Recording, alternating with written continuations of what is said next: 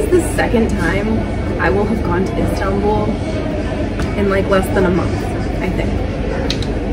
So, I'm eating breakfast. Gevrek. And I brought this from home because I'm cheap. Yeah, this was 20, 24 lira. I mean, it's good, but 24 lira. Look at that. Normally it would be four. So anyway, I thought I would do like a teeny tiny little vlog. Go get your breakfast, go get something to eat, and we can eat together and we can hang out. My flight is at 10.30. I got here really early apparently.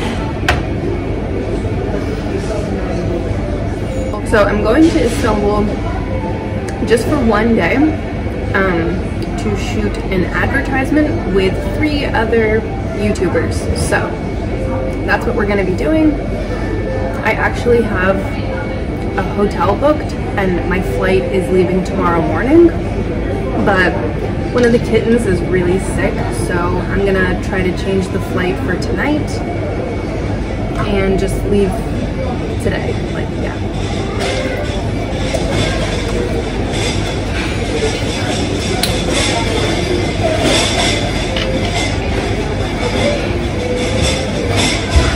So anyway, how are you guys? How's everything? Let me know if there's anything new. How's your July going?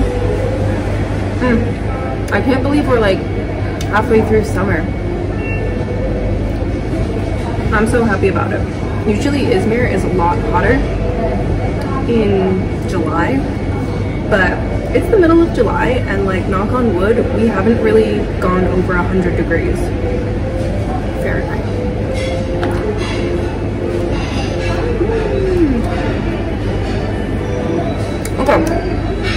for my book for the airplane, don't mind the coffee stains. I may have spilled coffee all over it. Okay, I'm reading this. It's called Life After Life. I read it because another YouTuber, Renee Amber, she suggested it. Um, it's really good. If you're interested in like life after death and what happens when we die, you'll like this book. It just talks about people who have had near-death experiences, like they died and they came back. And they basically just talk about like what they saw and what happened. And it's so interesting because like all the stories are basically the same even though they're people from like all over the world. Hmm. Yeah. Very interesting book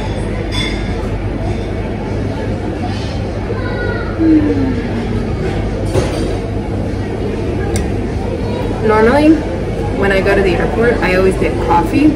And since Starbucks is the only option, I always get Starbucks. But I'm literally scared to see what the Starbucks airport prices are after inflation. I'm scared.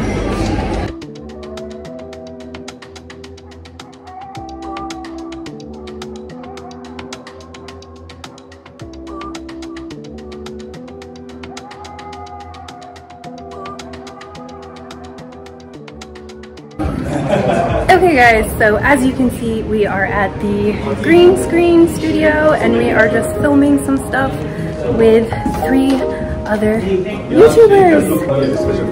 Let me show you guys. Guys, say hi. Sorry. Hi. Hi, YouTubers. What's up? It's just a vlog. Yeah, that's nice. Are we talking about the... Talking about the video. gibi yani yeni bir şey açtım. Da Zeytinburnu. Kuşburnu. Kuşburnu. Zeytinburnu. Zeytinburnu sayılır. Aa, çok şekerli değil. Şeker onda hiç kullanmıyoruz. Enteresan tadı var, güzel. Şuradan böcüksüz de var. Altı şahane. Kuzunun tam kuya in.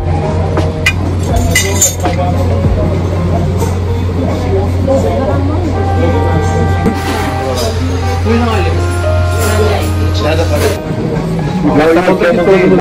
Oğlum aldılar almışsın. Değil, sigara sağlıyor. Hakikaten güzel.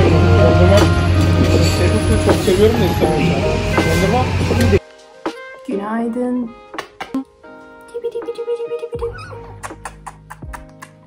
It is Thursday. This, by the way, this I just got from Caudalie and it's so amazing for summer if you have dehydrated skin like me.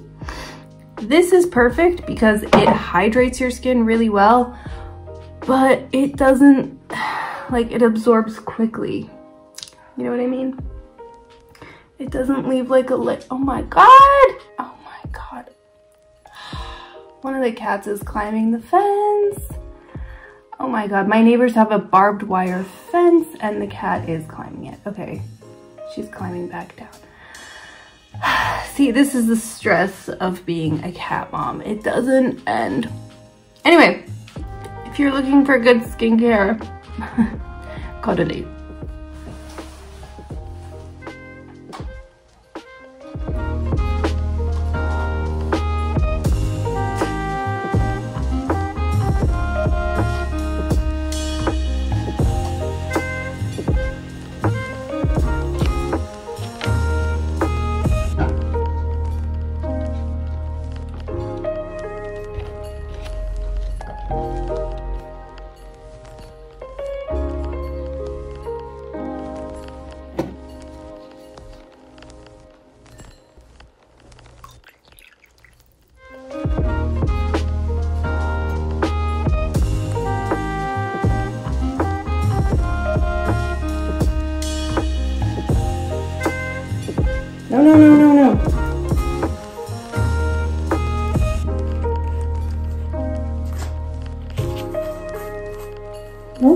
No, Kip. No, Kip.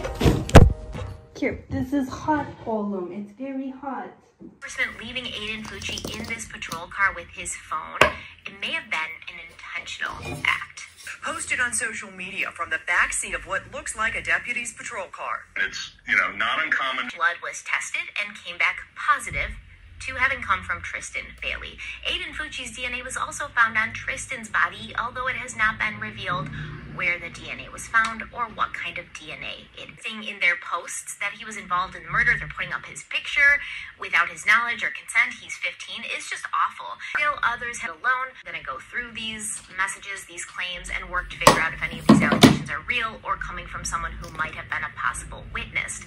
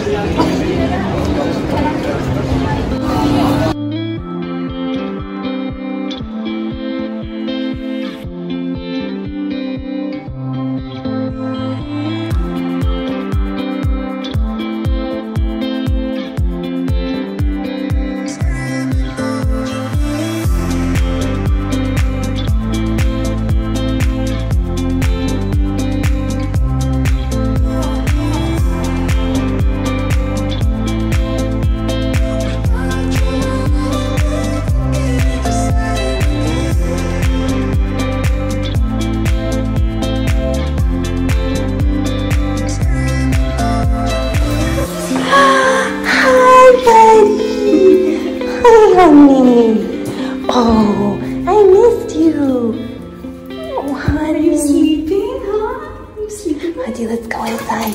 Oh. Yes, we came home. Oh, he missed mommy. Oh, mm, you're such a good boy. Oh. Oh, mommy, mommy, mommy. It's been what, like two hours, three hours?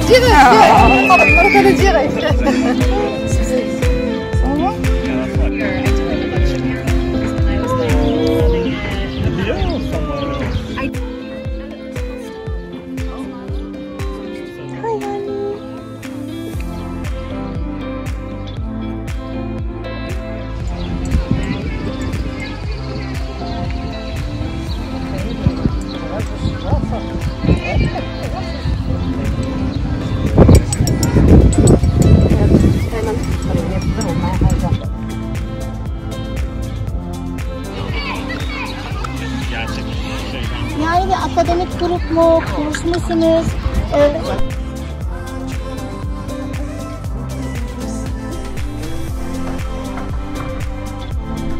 It's it, really pretty colors.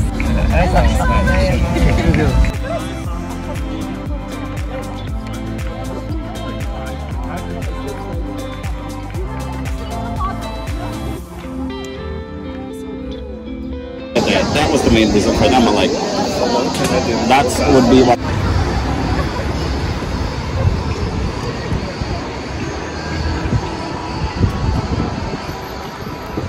Just left the drawing club and sadly as you can see our friend had his phone stolen. So I just thought that I would maybe explain what happened just because writing it on the screen doesn't exactly like you know explain it. So it's really sad. We're all really upset for him. Uh, so what happened was he was sitting next to me and these two children on a tandem bike came over. And immediately like all of us got really tense because we know like this can happen. This is like um, a relatively common thing unfortunately that children kind of work in pairs and they steal they distract you and then they while they distract you they steal your phone. Um, it happens frequently. So I'll just say that because I'm trying to give you guys like just an accurate depiction of my life. I don't want to sugarcoat anything. I don't want to trash anything. I just want you to see the real thing that's happening.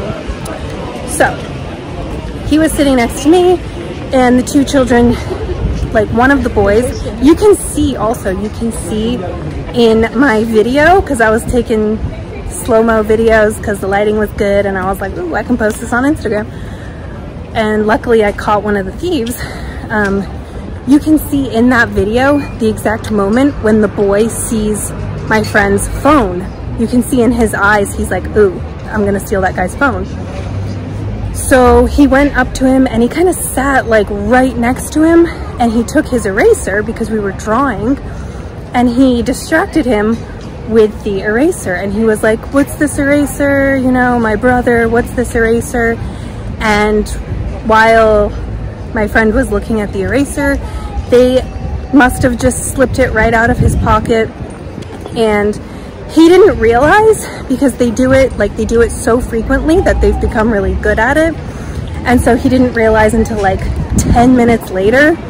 And then he just jumped up in the middle of our drawing session and he was like, they stole my phone and so we all jumped up, we all separated looking for the kids, running to the police, uh, the security, everyone, and luckily I got a picture of the kids so we were trying to like send it. But unfortunately there wasn't a lot of um, hope. They were the security and everyone, they were just kind of like, look, your phone's gone, man. The kids are gone, the phone's gone. This happens all the time. So yeah, we didn't get a lot of um, positive feedback for that. So we felt really, really bad. But my friend was taking it like a champ. He was like, it's gone, it's whatever. Oh. So anyway, yeah. I just want to give you guys an accurate depiction of what my life is like. So I hope I don't I don't know. That's it. Anyway, uh we all got like the heebie-jeebies we felt so paranoid after and then everyone in the group was sharing their horror stories like oh this happened to me so I was like okay you know what I'm gonna go home a little earlier tonight because I'm not feeling I'm not feeling too safe right now so uh, that's what I'm doing I'm gonna go home lock myself up with my cats and I might leave uh, next week or so so yeah, this might be the end of the vlog. I don't know. We'll see. We'll see.